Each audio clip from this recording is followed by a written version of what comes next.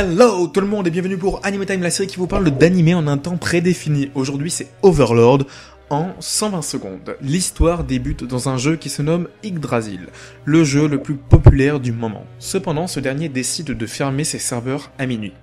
Nous suivons alors un joueur sous le pseudonyme de Momonga. Ce dernier est le chef de la guilde et décide tout seul d'attendre jusqu'à la fermeture du jeu. Le problème est que notre cher Momonga est toujours dans le jeu après minuit. C'est alors qu'il remarque rapidement que ce n'est plus le jeu auquel il a passé ses journées à jouer. Les commandes du jeu n'existent plus et les PNJ sont devenus des êtres ayant des sentiments et une existence qui leur est propre. C'est-à-dire qu'ils communiquent désormais, ils peuvent euh, interagir avec les personnages avec de réels sentiments comme de l'amour ou de l'amitié. Alors qu'avant c'était de simples PNJ sans aucun sentiment.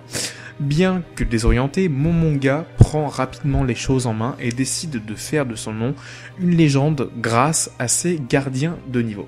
C'est-à-dire que au départ de l'aventure, il est vraiment considéré comme un personnage HL de haut level en fait, euh, qui a réellement, euh, c'est comme si vous étiez dans un, dans un MMORPG et que vous rushez à mort le jeu jusqu'à être niveau le plus élevé du jeu. Et euh, quand tous les personnages autour de vous ont des sentiments et ont des trucs comme ça, et eh ben on vous prend un peu pour le maître absolu. Donc c'est un animé déconseillé au moins de 10 ans. Euh, où il y a 13 épisodes de 25 minutes. Euh, c'est en cours, qui vient du Japon, qui a été, diffusé pour la première fois le 7 juillet. Le premier épisode c'était le 7 juillet. Donc c'est encore en cours, il n'est pas terminé.